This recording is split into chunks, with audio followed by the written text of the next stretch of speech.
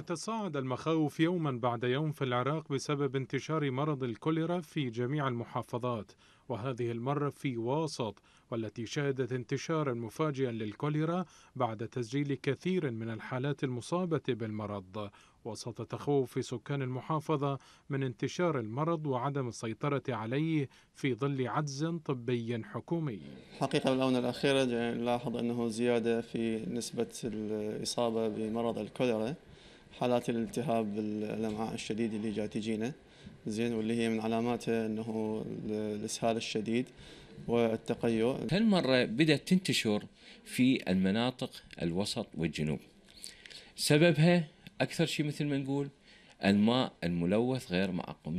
يبدو أن هناك كثير من الإصابات في مرض الكوليرا والأسباب هي تلوث المياه ومن خلال التكثرات الموجودة بالناقل للمياه. مديرية الصحة وسط أكدت انتشار مرض الكوليرا في عدد من أقضية ونواحي المحافظة وتسجيل عشرات الحالات المصابة بالمرض مشيرة إلى أن التلوث وانخفاض مناسيب المياه ساهما بانتشار الكوليرا في واسط. نظرا لانخفاض مناسيب المياه في دجلة سجلت محافظتنا ومحافظات أخرى في العراق إصابات في مرض الكوليرا.